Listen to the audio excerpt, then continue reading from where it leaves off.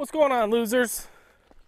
So, it's another day out here in Arizona. It's a beautiful day. We're actually going to head to my parents and ride their bikes. But first, we got to do some work on the hard body.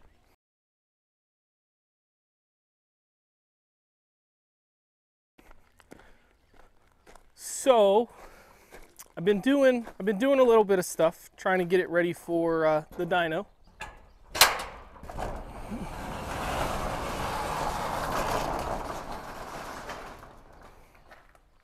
We this gimbal, the setting on it is like goofy and it turns all weird. Anyways, um, we have a date with the dyno coming up. Will, I don't know if you guys have met Will. Anyways, regardless, Will is the one that's tuning it. He has a shop LSR Performance, I'm pretty sure. I'm dyslexic, so it's hard for me to remember the order of all these letters and numbers and stuff. Anyways, so we're trying to get the truck ready. We have a few small things. We also have our list over here. We're gonna go over our list and talk about that, what is left and what needs to be done. Um, but yeah, Will came over. He messed with the tune a little bit. The truck runs a lot better. It's still crazy rich, but it runs a lot better. Um, we have spark plugs for him. That way when he's tuned, he can swap spark plugs if he needs to. Um, we fixed some intercooler piping. We have a couple leaks to fix. Uh, and that's really about it for the dyno. We just got to wait for him to get back. He went on a trip for two weeks.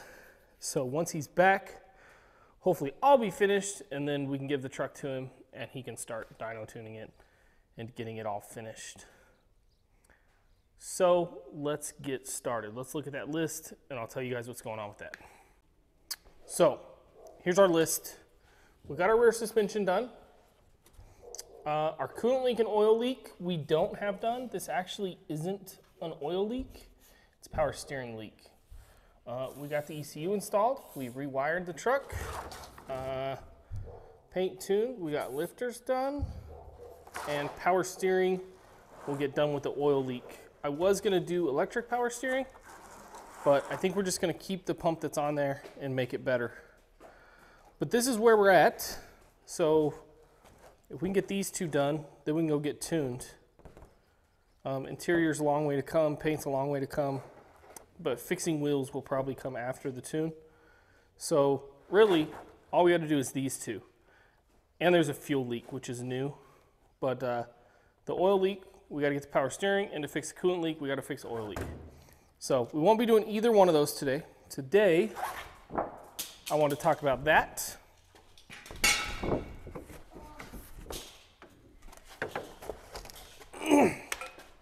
and then we're going to fix a fuel leak.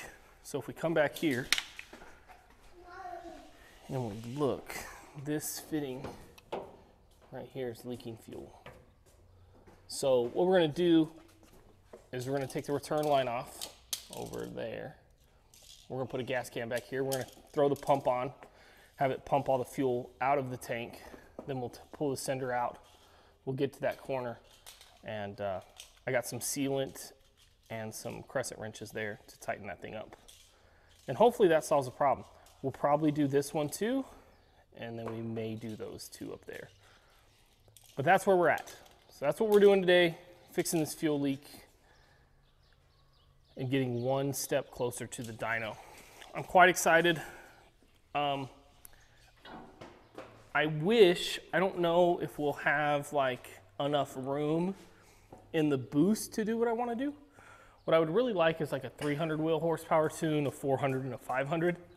Um, five being like max effort on ethanol, and then 400 being like I don't know, 25-ish pounds of boost on pump gas.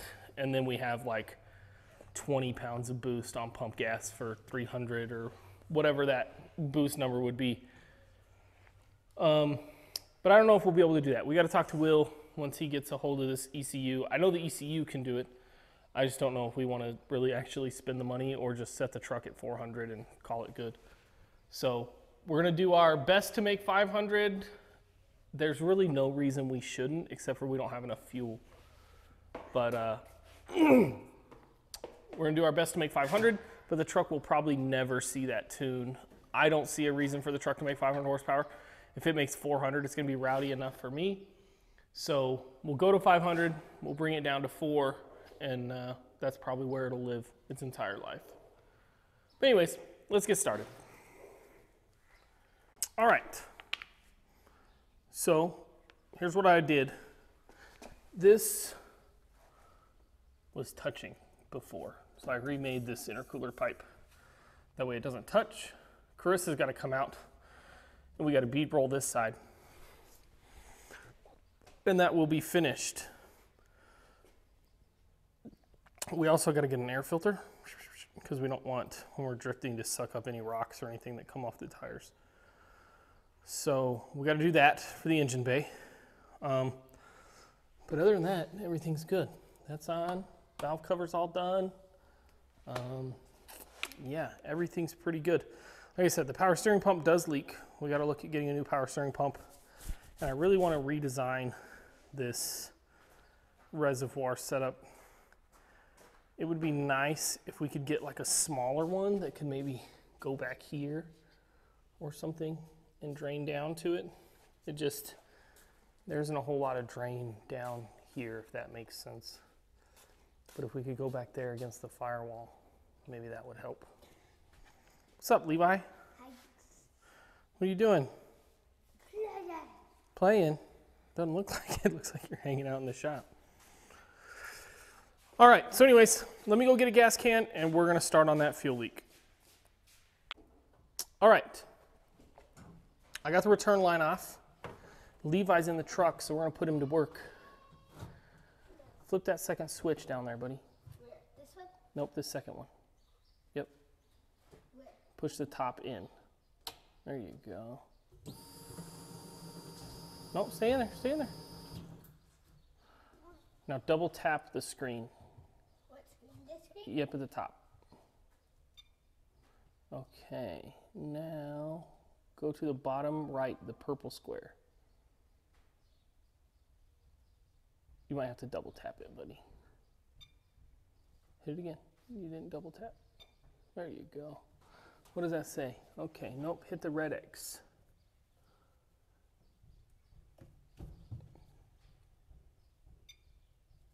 Uh, what does that say? Dashboard. Let me see. All right. So we had the pump on. We pumped everything into here. Now we're going to pull out the sender. Um, then we'll pull out all the foam. We'll see what the condition of that is because it only has like a three-year life. Hey, hey, be a little bit quiet, okay? So it only has like a three-year life, so we'll have to check that out, see what the foam looks like, and then we'll get to these guys. Wait, my eye. Wait, no. No, no, shoot it.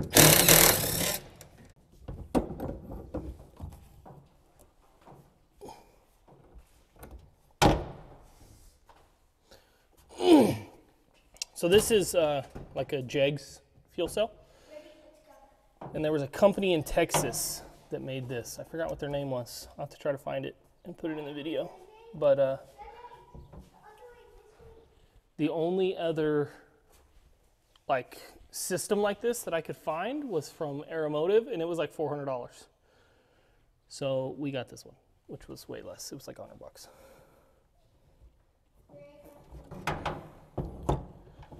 So there's that. Now.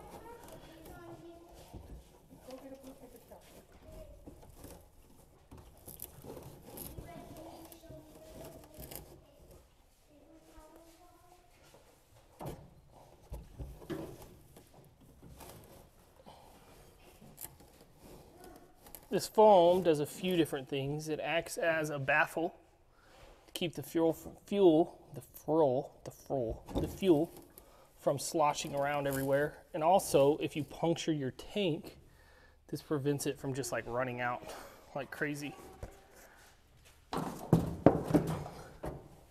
This stuff actually feels like it's in really good shape. Like it's not degraded at all. If I pull on it and try to rip it, I can rip it. But as far as itself, it seems really good. That's, all the foam that we cram into this little box. Um, it's a lot. It's still saturated with gas, and that kind of proves what it does there. It just holds the fuel in place. So if you puncture this, the whole, the fuel doesn't rush out. Um, and like like I said, it doesn't allow it to slosh. It kind of holds it in place. So now what we're gonna do, we're gonna go ahead and get this fuel can out of here, and we're gonna take apart that corner and start trying to get that thing to seal up.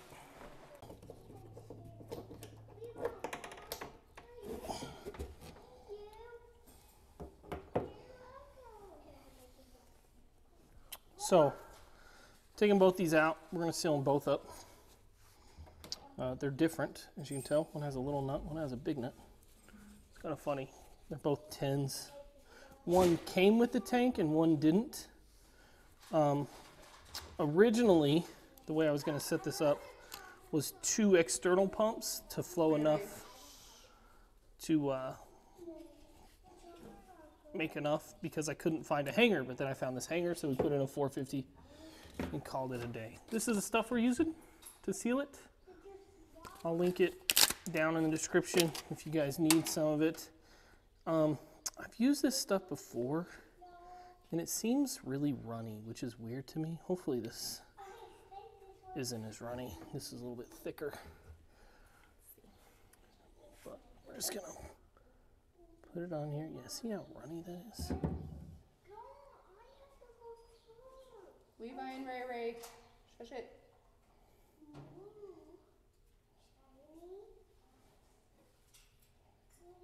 So this isn't an RTV, this stays liquid. So we're gonna do it like that. And then we'll put it on here, facing in. And then we'll do this one as well. Put him on. We'll take this washer, put him on. Boom. And a nut.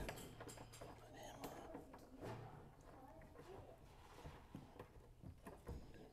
on. Okay.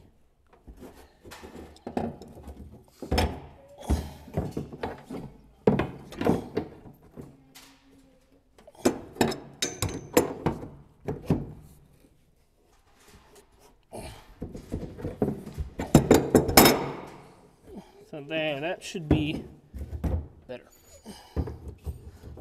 Now let's make this this same. All right.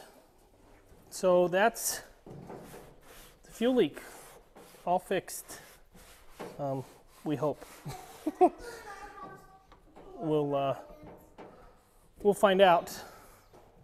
Um, but yeah, there it is. It's all hooked back up. Those are sealed. This is sealed.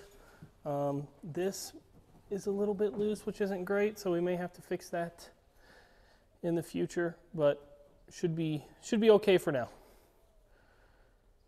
So yeah, that's pretty much it. I know it wasn't a whole lot going on in the video. Oh, actually no, that's not true. We got one more thing to do. We got one more thing to do.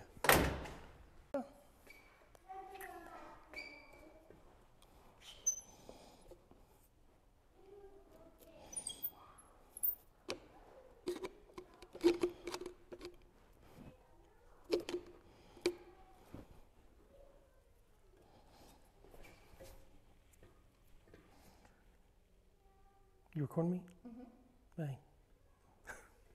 um, anyways, so now what we're gonna do, we're gonna go ahead and put a bead on this. This is my bead roller. We got this from Paul, the guy that does the welding on the intake elbows. So he welds them up, we do this, and then we send them out to you guys. So, anyways, Carissa is gonna have to set the camera on something. There's a tub over there you could move. And then uh, she's gonna have to come steer while I. Okay, I lied. She's gonna turn. I'm gonna steer.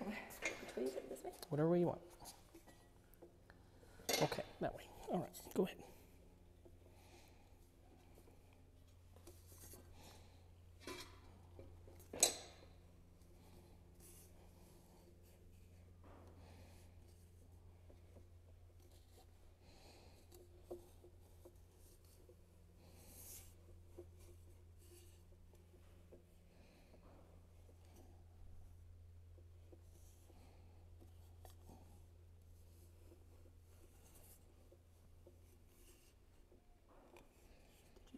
This up or something? 'Cause it seems easier. This is a straight piece of pipe, so unlike the elbows, it's not as hard. That's good. The elbows are really thick on one side. Because when you do this, when you when you bend this pipe, it stretches here and compresses here, so there's more metal here than here. So when you try to roll on the edge here, this is really thick, so you have to have that real tight. Um, but because this was straight, we didn't. And there you go. Nice little bead roll. All done. Little O-ring on there. Uh, I want to oil it up a little. You shouldn't use PB Blaster because it's PB Blaster. There was a jug of 1540 around here somewhere. What did I do with it? Get you a little oil. As if you're running these style of connectors. Put it on here. And what's the point of Of what? that?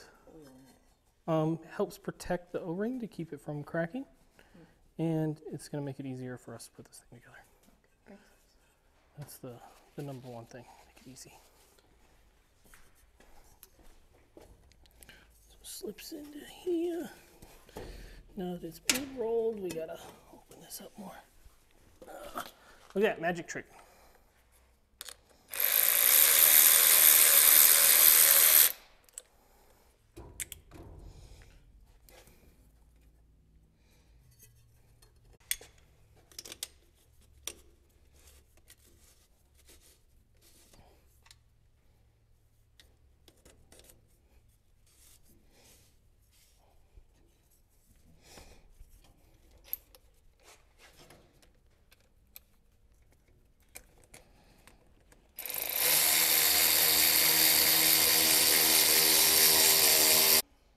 All right, you can hear me?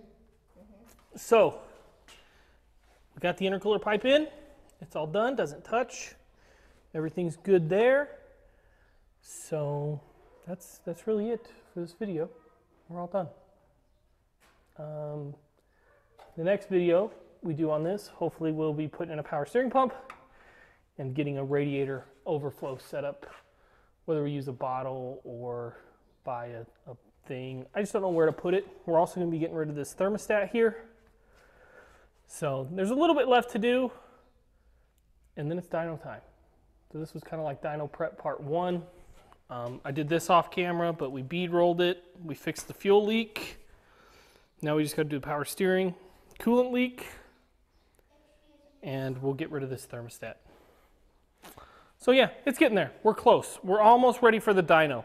Um, hopefully, like I said, as soon as Will gets back, this will all be ready to go.